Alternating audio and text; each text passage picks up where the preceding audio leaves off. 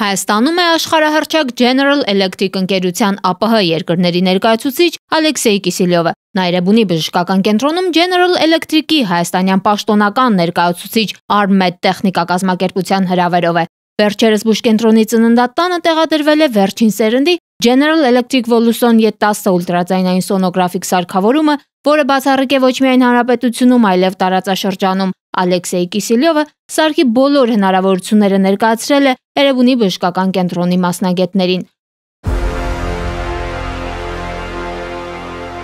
General Electric Voluson Y10 ուլտրաձայնային սարքավորումը լավագույնն է ամբողջ աշխարհում եւ դեռևս նորություն է նույնիսկ զարգացած երկրների առաջատար կլինիկաների համար։ Այն նախորդներից անհամեմատ հզոր է, գերարագ, ունի բազմաթիվ նոր ֆունկցիաներ։ Սարքով պտղի հետազոտությունը որակական բացարձակ ճշգրիտ պատկեր է հաղորդում, տալով ոչ միայն 3, այլև 4D ծավալ, ունի նաև HD Live ծրագիր, ինչը հնարավորություն է տալիս պտղի ներքին օրգանները տեսնել վաղ շրջանում, հայտնաբերելով արատները, եթե այդպիսիք կան։